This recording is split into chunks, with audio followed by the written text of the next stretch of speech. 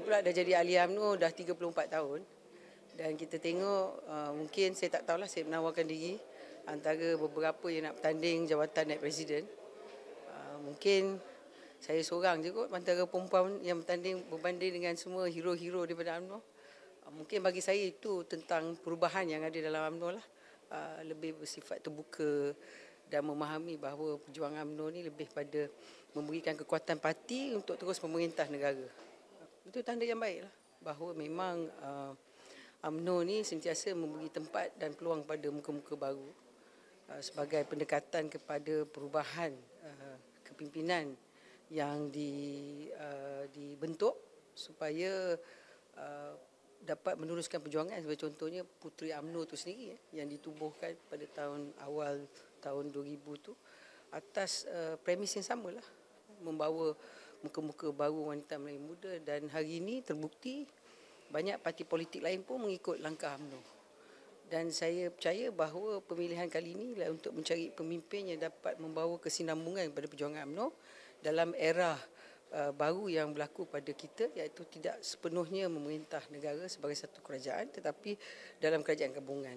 Eh, itu sebab bagi saya kepimpinan parti akan dipilih oleh ahli akar umbi supaya dapat dalam apa situasi sekalipun UMNO tak boleh rugi.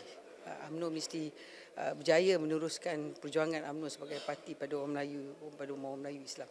Saya tengok parti-parti politik yang ada eh, dalam negara kita banyak juga jawatan uh, naik presiden mereka terdiri pada kaum wanita.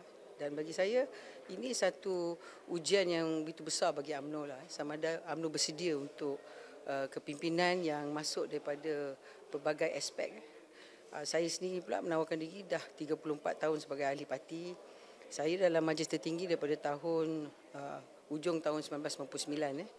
Ah, jadi bagi saya mungkin pada diri saya saya melihat inilah masa yang sesuai dalam keadaan kita dalam keadaan gabungan supaya saya dapat uh, apa ni menawarkan diri saya untuk kesinambungan pada kepimpinan parti lah supaya kita dapat uh, uh, dilihat sebagai satu parti yang relevan kepada uh, bukan saja orang Melayu dalam negara kita tetapi bagi rakyat Malaysia secara umum dan saya harap saya dapat uh, memperjuangkan AMNO dalam menawarkan diri supaya saya dapat menjadikan AMNO lebih relevan dan konsisten pada hati rakyat Malaysia untuk PRU yang ke-16.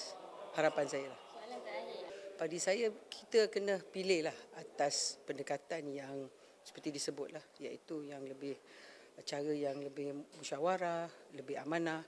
Uh, saya rasa kalau antara kita yang memainkan taktik-taktik yang tak elok, uh, memburuk-burukkan lawan, Uh, apa ni meletakkan duit sebagai ukuran pada pemilihan bagi saya ini satu langkah kepada kemudaratan bagi UMNO lah. Saya harap pilihan raya kali ini akan lebih terbuka, lebih proper dan lebih kepada uji kepada kebolehan mereka yang menawarkan diri. Eh? Bukan melihat kepada kemampuan membeli tetapi lebih kepada kemampuan memimpin.